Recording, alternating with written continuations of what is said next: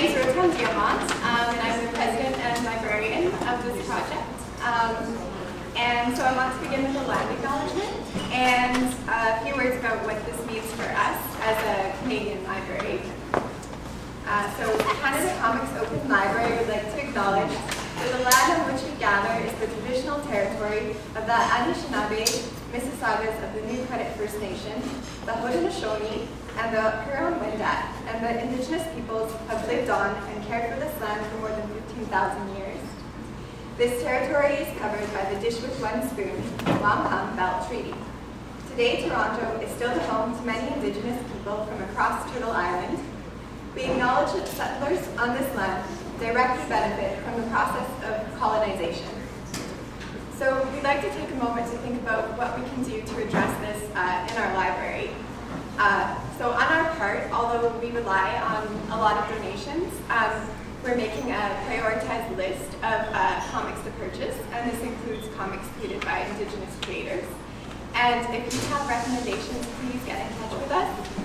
Um, and we're also thinking about what we can do in the future, for example, uh, collaborating with Indigenous creators on uh, Indigenous-focused comics workshops, and we want to continue having this conversation as well. Um, so thank you for coming out today. Uh, we're very excited to be here, um, and I'm going to turn it over to Brooke and the panel in a second.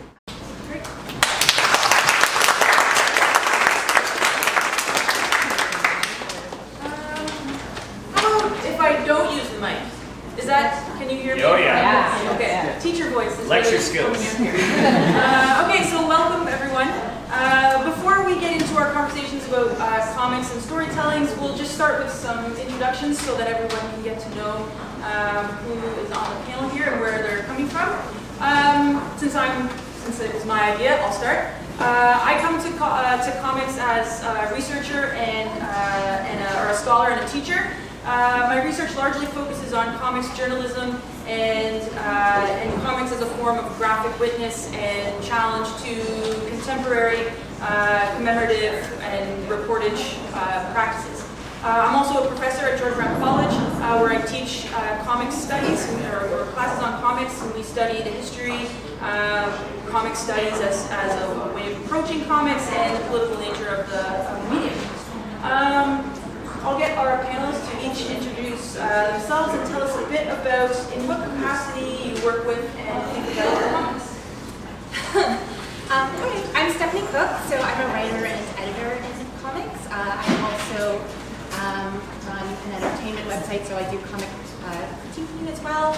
And I run a website called Creator Resource and Creator Advisor, which both aim to help creators navigate the industry, learn more about it, and hopefully survive in it. Hi, I'm Ardo Omer. I am a comics critic. I've had bylines on sites like Slate, uh, Women Write About Comics, uh, and I wrote my first short comic in the Toronto Comics Anthology, As Good as um, As Good as Gold, Volume 5 this past May. And uh, yeah. I'm Jason Loo. I'm the comic creator behind Pitiful Human Lizard, Toronto's own superhero, and I'm the artist I was one of the artists for uh, Kill Shakespeare from IDW. Hi, uh, I'm Hana. I'm probably the only person on here who's not in comics exactly per se. Uh, I'm an illustrator and a writer. I have a book called It Begins with the Body, which is a, um, a hybrid poetry, prose, and like a full page illustration book. Um, yes, that's me. There is a microphone if you prefer to, not everyone has this. this is better for me. Um, hi, I'm Georgia Webber. I am a comics artist and editor. I do freelance editing for other artists. I edit section of an online literary magazine called Carte Blanche. And I'm a comics artist specializing in graphic medicine, which is to say almost all of my work is personal and to do with health um, and hopefully somewhat educational in that, in that respect. Uh, hi, I'm Ryan. I'm a comic writer. I've done uh, a lot of stuff. I do uh, web comics called Dinosaur Comics. I do stuff in uh, print for, uh, done licensed comics, Adventure Time. I write a comic for Marvel called The Unbeatable Squirrel Girl. And uh, I've also been prose writing, sort of comics adjacent stuff. Great, thank you. Uh, okay, so let's, we'll start off a little bit uh, broadly. Uh, so the question is, what are, what are some of your favorite kinds of stories to read and tell in comics and why? And we don't have to go down the line in order. Anyone can jump in and snag a mic. There's another one. The thing I like about comics is that, uh, I'm saying this as a writer who doesn't have to draw the comics. Um, you kind of have this infinite budget where it takes almost the same amount of time to draw people sitting at a cafe as it does to have them fighting aliens on the moon. And so you're very free in the types of stories you want to tell visually because you can you can just write it. And I, I mean I recognize that I can write in this scene, you know, Fight a thousand ninjas, and that takes 10 seconds to write, like all day to draw. But the time it takes to draw a page, it's not, it's not set, but it, it doesn't vary that much. It's more the amount of people you haven't seen and what's happening in the scene. So I think, I, I like that a lot, that you can sort of go anywhere with your stories, not worry about, do we have a set for this, or, I mean, that, that, that's comparing it to movies, but I think it's interesting. Yeah, great. Favorite kinds of stories to read and tell in comics? I don't know. I guess like for me, I really like character-driven stories. I mean, obviously, most stories have characters and, and that sort of thing. But like, I love when people get into them and they just have these real and complex characters that I get like attached to. And then sometimes they occasionally kill them off, and I'm just like, ah! You have like a meltdown, but you just like, you know, get so invested in these characters and just like that connection with something else. You know, just that's in front of you is still astounding to me, even as like writer and editor. It's just like, how did you do that? How did you build that connection? And I, I love that. It's just such a experience. Yeah, um, I really enjoy stories about um, young people, so teens. I mean, it's it's. I started out reviewing books, uh, especially young uh, young adult novels and things like that. And then when I was reviewing uh, comics, it made sense that comics about young people was what interested me. And then the one comic I wrote um, is about uh, two college kids. Uh, and so I don't know. I just find young people are just really great at put, like putting in weird situations. Um, Uh, I, I like more of like, like the slice of life stuff. Um, like some of my inspirations are Daniel Clowes and Adrian Tomine of uh, Optic Nerve, and like they they like they, they they're really good at capturing like very awkward moments in like maybe three panels. Um, I just like those moments. Uh, and one of the things that like I, I've, I've done in my comp for like because it's it's a superhero comp that I, that I, I write. Um, but I, I like to focus on like some of the, the stuff that we don't see that superheroes do, like after the action happens, after like a big catastrophe happens. Like, what are some of the repercussions that happen after that? Like, uh, yeah, like just the interactions with, with people on the street, like what their thoughts are, because you don't really see that kind of uh, perspective in comics. Um, I think for me, I really like personal narrative books to actually read and tell. Um, I think that oftentimes when marginalized writers comics or any kind of storytelling with personal narrative, like we see it as some kind of cop out, but in truth, creating a really great visual story about someone's own personal narrative takes a lot of sophistication and there's something really um, beautiful about seeing people illustrate these really tender, intimate moments in their own lives. It's literally like seeing their most private memories and the way that I've seen some of that displayed on a page is just really, really moved me and probably the reason why I like to write a lot of personal narrative. Yeah, great. There's a real intimacy with the medium of comics, which speaks to what you're saying, and, and even comics that aren't uh, personal narrative driven still have that that intimacy or, or identifying uh, characters, characteristics. there. Do you wanna- Um, yeah, I mean, just to continue kind of uh, some of these answers together. personal stories are very important to me as well. Um, then to go further, like my, my interest is, is across the board in, in all kinds of mediums, but anything to do with health is going to draw me in a lot more just because I think those conversations are much harder to have in other places, in other ways. And um, some of the beautiful flexibility of comics that I really enjoy is translating things that could not possibly be seen from any other perspective, could not be seen unless someone is showing you them specifically and talking to you about them. And the way that comics gives us flexibility of um, medium, like the materials that you're working with, but then also having, you know, the abstraction of words and then the immediacy of images and the intimacy of those things blending. It just allows for that very, very specific voice to come through. And when that very specific voice is coming through about something that is so hard to communicate, it's just an endless well of creativity.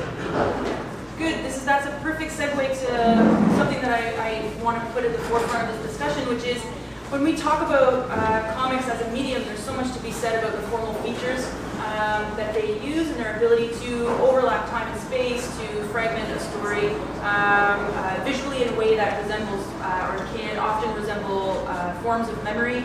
Uh, gutters and panel shapes and sizes can be manipulated to configure a really particular kind of reading experience um, for, for the reader. And so my question here um, is, and we're, we're getting at it already, of hedging around it, what interests you about comics as a unique medium for, for storytelling as opposed to other, other types of, uh, of media? Um, I think it's just, for me, it's just faster than like uh, film production. Like, you, like film production, like you, re- you require a team. You got to pay your staff to do this or that. Whereas like the comic medium, like you're the director, you're the casting director, you're uh, the costume designer, and, and all of that, all in one. And uh, uh, yes, it, uh, You like Uh, control. yeah, in a way, yeah. That's well. I look at some of my other projects. Like I, I like to just write and draw my own stuff.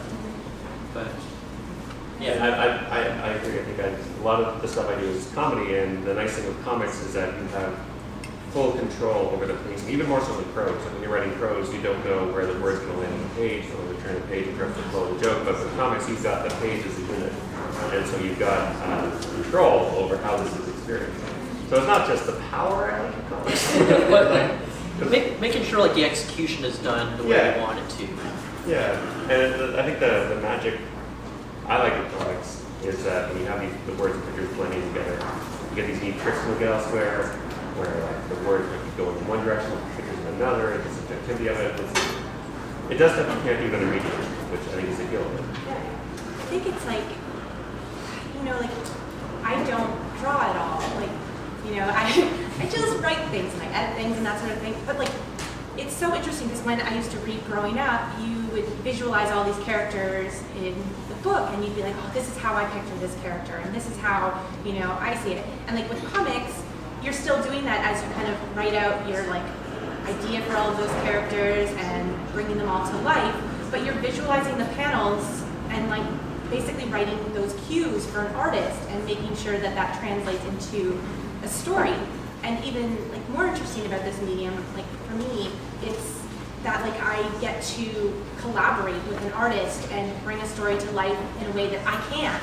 You know, I could write prose, but for me, like I've tried that and it doesn't really entirely work for me. Like comics, I'm able to tell a much more coherent story, and I love seeing what an artist comes up with.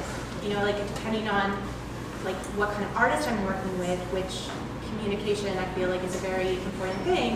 Um, I can either give really vague descriptions and let them build the world, or I can go into like greater detail because they're already in my head and kind of art direct as well. So there's just so much you can do, and it's for me at the heart, like it's like this amazing collaboration experience. Yeah, it's funny because with prose, it's the opposite for me in comics. Because for me, uh, my my I came into this general literary world through pro- prose, and so for me, engaging in comics because I don't draw. Catherine Olenek did a fantastic job on comic I wrote, and she was able to create like this like another layer of it that I didn't expect.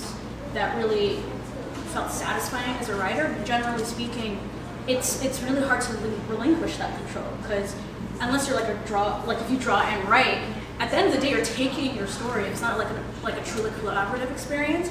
You're taking your story and you're giving it to someone else to to to essentially run wild, wild with, it, right? Because but with comics as a reader, which is what I mostly know as, uh, it's it's great because it's those silent moments where there aren't any words on the page that really shows the power of comics. Like you'll have you'll read a comic, but you can immediately go back. You just finished reading it, and you can go back and find new things, right? New new emotions.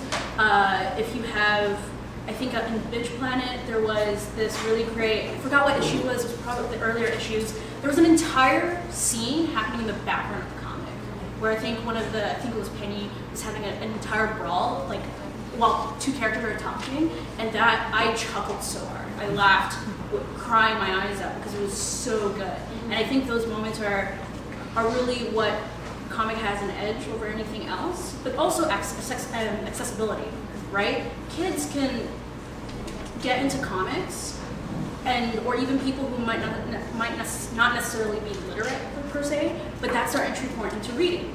And what people take, um, what people don't understand about comics is the fact that they think that's where it ends. Great, these kids can read. They go on to prose because prose is way better, but that's not the case, right? It's then you're now taking these kids and you're help, you're you're evolving their understanding of storytelling, which is great for prose, right? Because prose also offers a, a different form of storytelling, right? So yeah. Good, great. There's a lot of decoding skills involved in comics that you, yeah, sure, as a as a younger person, you might be developing. Even as a as a well-versed adult reader, there are still those skills are being asked to, or you're being asked to use them in reading comics at all at, at all times. Yeah. Um, I was just going to add on to that the accessibility of comics is I think what makes it such a special kind of medium. Um, I think you know for a lot of people, if you're reading something and unable to visualize it, it can really impair your experience. Like not everyone is necessarily going to. Some people like using their imaginations to and everything together. Not everybody necessarily benefits from that. And I know in my own work, mixing writing with illustrations, um, it's helped people access my poetry as a medium that they may have not really been able to decipher before because it's considered like this really abstract and like weird medium and like a lot of people see going through this like just this really inaccessible type of writing. So um, to create full page illustrations to go with it and to sort of explain it, it it helps people understand the content and it helps people um, I think connect with it on a more personal level you get to actively show them the world building you're doing, like you're drawing it out, you're writing the scene, like and that way they really get to enter your world without like straining themselves to figure out what you're trying to convey.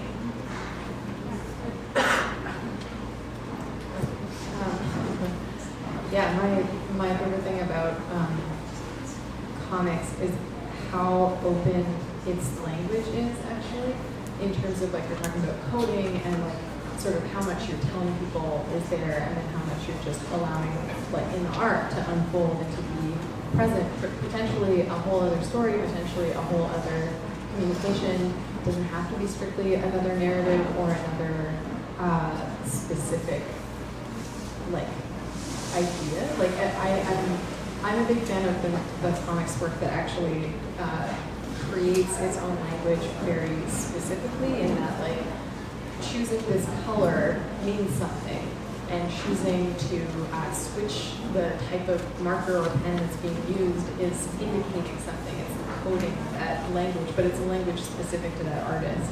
And it can go as far as like, what paper is this made of? And maybe different papers throughout the book indicate different things. Uh, maybe the book is like telling you, I'm a book the whole time. Maybe you're holding it and it's like, you're holding me. Or maybe it's on a screen and you're able to scroll through it and there's something about the light that's playing a part in that world. Like it actually can go so much deeper than just the story that's being told. Good, great, yes. Uh, and you know, ideas about comics and, and literacy or and, and accessibility. Like there's a really long history of comics being uh, coming from that in the form of, of, of literacy. On the more uh, recent uh, side, I guess, there's two approaches to comics that have really emerged to be really popular, and that would be genres of autobiography and memoir, which I know we've already brought up a little bit, and the idea of, of retelling stories or, or events. So, um, why, this is really open-ended, but uh, why do you think that is? Why, what about something like uh, genres of autobiography and memoir? Uh, what about those genres seem to fit so well in the medium of comics? And why are people using comics to retell uh, retell stories? What's the power in retelling stories and why comics? Um, in terms of like retelling stories, um, so when I when I hear that, I think of a lot of uh, like historical comics, like that go over different historical events. Um, and for me, it's just a way to make it more interesting. Like a lot of it is stuff that I already learned about in school, but that I never really absorbed. And I think when we take complex events and we tell them through comics, you can get a way wider audience to engage with those stories. Like, we really have to think about the way that memoirs and autobiographies are told in these like bulky books that like nobody wants to pick up, or they're told it's like the thing that you're forced to read in school and that you don't really engage with. Um, and for some reason, when it's translated to a comic, you know, you have a lot of snooty people that feel like that's this somehow is like tainting this great historical story. But really, all it's doing is making it something just more real and more enjoyable for most people. So I think that's why this is sort of coming about is because like we're changing the rules on how a story should be told and what story is like appropriate for a comic. Like that whole rule that's gone now. There's there's nothing that's necessarily inappropriate for a comic. We're finding we're finding a way to make comics and illustration tell all kinds of stories, which I think is kind of amazing. like exactly what you said. Like it's just accessible. You know, like big history texts and that sort of thing remind me of school. And like I was saying before this panel, like I'm not particularly like academic. Like I did fine in school, but like I couldn't really pursue that to do anything further. But like I associate those kind of texts and like that stuff with school, which I just wasn't really able to absorb and kind of keep that. But like now I get to learn about these amazing things that happened and like see like the context of it on page that I understand and just sticks with me. So I, I feel like it's like a chance to actually learn well after the fact and just enjoy these stories that I wasn't able to when I was younger or appreciate when I was younger. There's also a lot of, uh, we're talking about ideas of like um, textbooks and, and, that kind of history, it's a really official, traditional uh, kind of history where uh, there's a lot of comics that are retelling histories in order to um, give a, a, representation or a voice to, to stories that might have been uh, sort of made invisible through this more official history telling. Um, and sort and to try to make history a little bit more uh, complex in that way, so that you do get exposure to, to voices that, as I say, were, were left out or or, or rendered silent uh, in that traditional sort of history. It's like that. Um, I think. I think it's also the level in which we engage with these stories, right? So if it's like a written with like words, we're like, all right, cool. And and I think what Hana was talking about before, the idea of that someone's people using their imaginations. So I could read two different books about slavery, and one will probably do a better job in like really getting me to to that emotional place, while another, even though stress is horrific for whatever reason, I'm not there. Um, but when you look at in the case of say Octavia Butler's, um, uh, oh no, what is it called? Kindred. Uh, her it was adapted recently, um, and to for someone to have read that book, and she's a phenomenal writer, but then to engage with that graphic novel is like another level because now you're seeing it play out on, on, the, on the page in the way that people will hear about stories. You're like, oh, did you hear about this thing? And you're like, man, that's terrible. But then it's different if you look at it unfolds in video type of thing. Um, or in the case of like John Lewis, um, his comics, the name of that Escapes. March. Yeah, Thank you. Good example. One word. Kindred and March. Doing well. Um, March it's, like it's again it's that accessibility, being able to access that story for an entire generation that wasn't around during the civil rights movement. Um, and it's a story that's very it's, it's very important. And so and then also um, what Georgia was talking about in terms of like the styles, right? The conscious effort. Like in Kindred, the art is deliberately like this very like raw, messy type of style uh, for a very raw and messy story, right? And I think again that's that other layer to it that everything's intentional in what it wants you to feel. So I think that and also just comics as a medium is susceptible to everything, right? So right now, um, the popularity of memoirs and things like that and retellings is, is evident in all the mediums that we're now looking at, right? Prose, movies. There's another Lion King movie. uh, not needed, but uh, but it makes sense that comics would also follow suit, right? Especially in the case of memoirs and um, autobiography, because right now it's this need to tell stories that haven't been told, but also this idea of the authentic voice. Yeah, sure. Oh, Yep, yep. Um, like, and I think something to kind of just further on that is like you see the expressions of people's faces. Like it's not just somebody regurgitating like history on a page. It's seeing the expressions and like what people were going through and having that come through. And you like you don't just you know read the story and absorb it. You're feeling the story. Like you have an emotional connection to those characters or like everything else going on the page because it's relatable. You can see the human emotion on their faces and like in the story. Something to, to, to highlight that, something that makes comics so unique is their, uh, they really rely on audience participation for their, for their meaning. I think we're kind of there with that question, but I do want to ask uh, in the verbal, visual medium, um, this reliance on audience participation, what role, and I don't know if this is exactly the exact kind of question you want to ask, but what role does the reader play in making meaning out of comics? Um, I'm thinking about this in, in, in sort of a retelling perspective from digital or, or web comics perspective, and also from uh, autobiography as memoir, but also uh, I want to bring in the genre of superheroes too, because there is something uh, history retelling in there in that in that, that genre too. So, um, what role does the reader play in making meaning out of, out of comics? I know.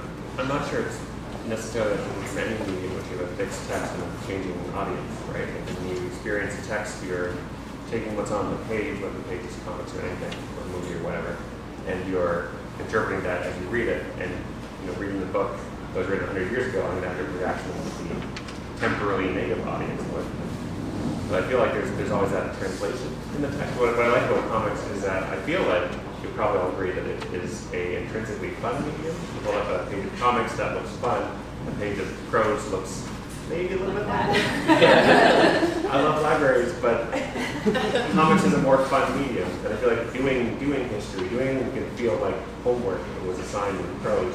When you have the, the, the native fun of, of comics, it's it makes it a lot easier. Like it feels like you're cheating sometimes to read a comic and do it for class. It has a lot to do with the fact that there's different kinds of learners, right? Like Yeah. um, are visual and like prose is intimidating, whereas if you have images to you know coincide with the story, and it's just it makes so much more sense. It's also great for vocabulary. It's word jumping, a second chance to learn it from the pictures. I learned the word uh, fiend from Archie comics. I thought it was a typo of friend, and then it was Reggie was a fiend. Like, no, no, it's a jerk. You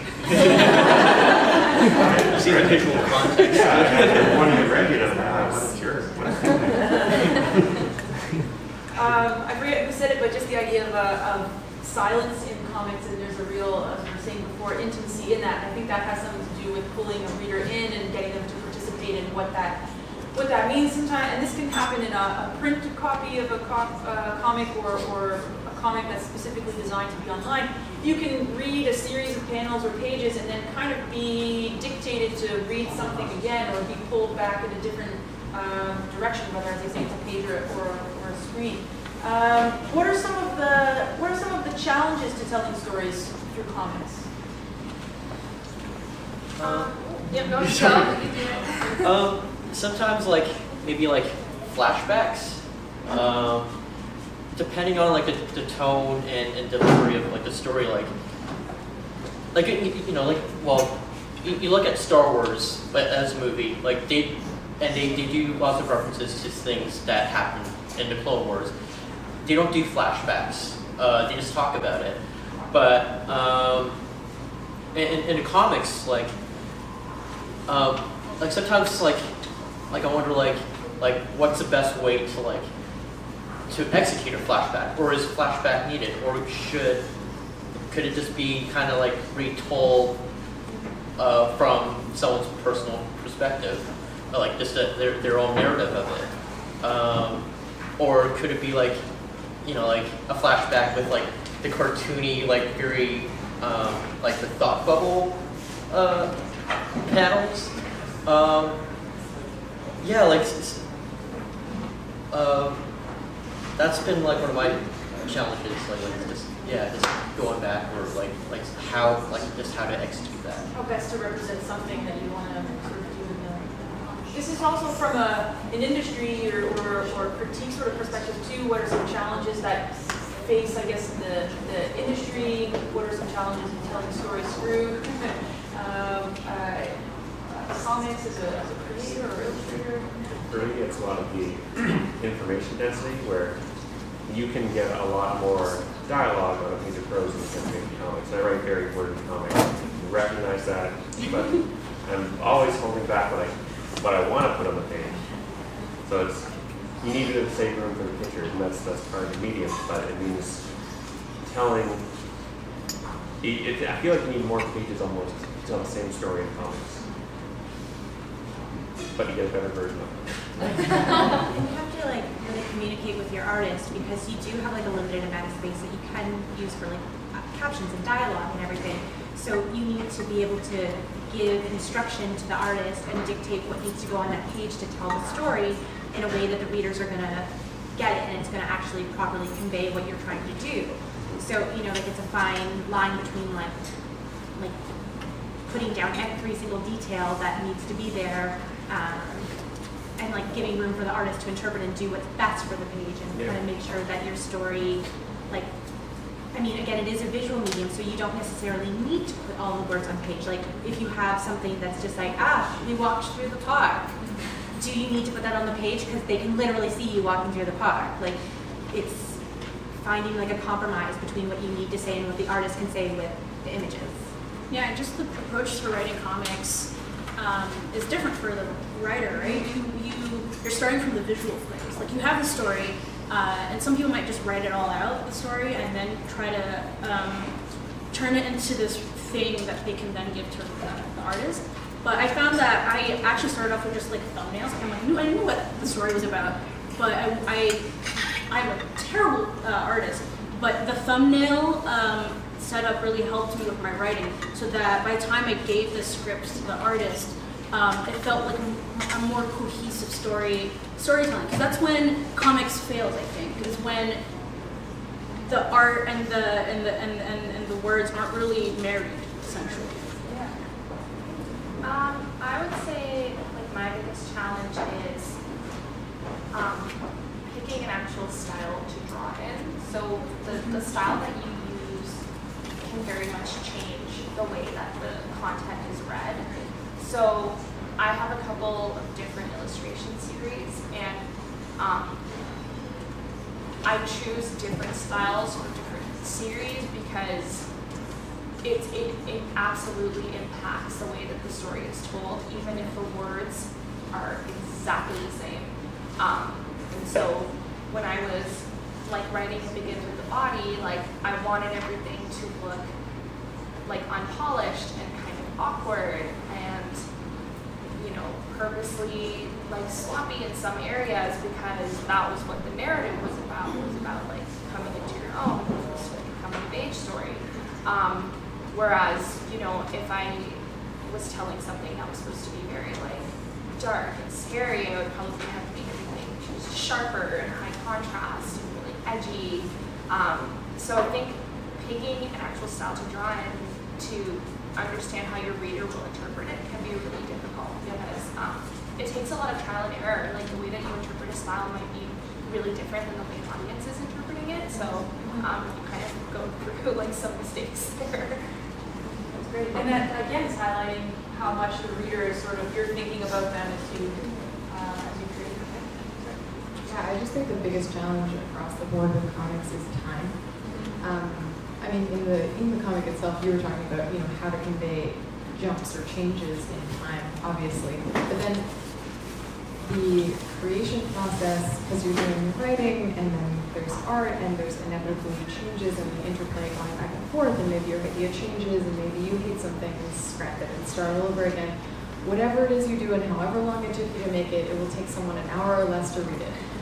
So it's very hard to make a scale of you know the work and effort that you can put into something, balancing that within your life, how you make money, how you sustain yourself, how you share it with people, and then to like scale all of that against what it's going to become when it's something that someone can either purchase from you or just consume immediately for free, and then how that sort of gets returned to you, like how your investment gets returned to you and all your time and energy. And obviously, like you, just can't compare what you spend uh, in terms of energy, money, or any of your other resources.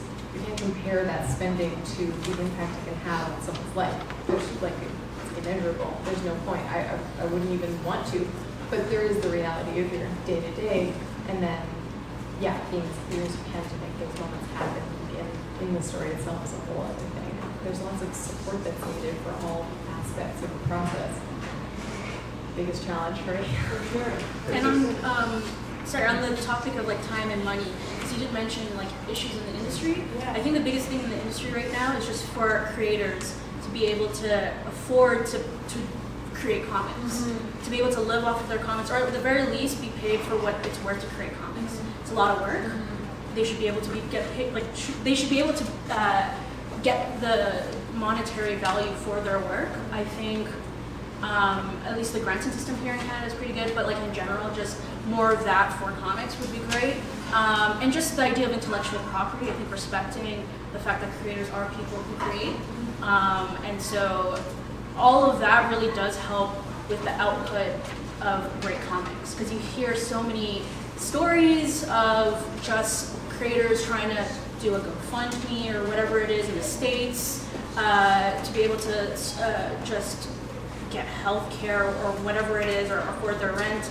And so we, we talk a lot about comics creation, but I think the realities of people, especially in the context of marginalized people as well, who need, who desperately need avenues to tell their stories, need to be able to, to have basic needs met to, to tell these stories as well. So I think the industry itself also needs to understand that comics is definitely here to stay. Comics is being, is, you're seeing it in the context of publishing now. There are imprints dedicated to, to comics as well. So it's a medium that needs to also support its creators. Yeah, well, I think, again, we were talking before this a little bit, and a little bit about like Creator Resource does, um, is talk about like the page rates in comics, which are pretty like poor, like across the board with very few exceptions.